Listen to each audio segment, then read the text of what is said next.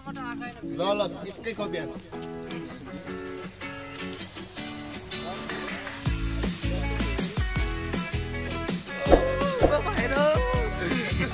के पो हुन्छ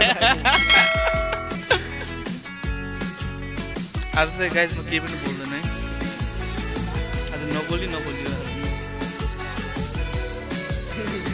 युट्युबमा हेर्दै हेरेन होला। आइफोन इलेभेन हजुरले? हजुरको नाम? भन्नुहुन्छ कि त्यहाँ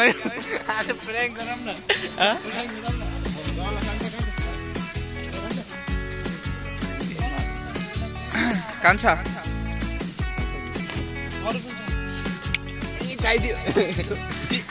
म चाहिँ गाइज आज केही नबोल्टु गरेको छु। प्लिज मेरो च्यानल मेरो ज्यानहरू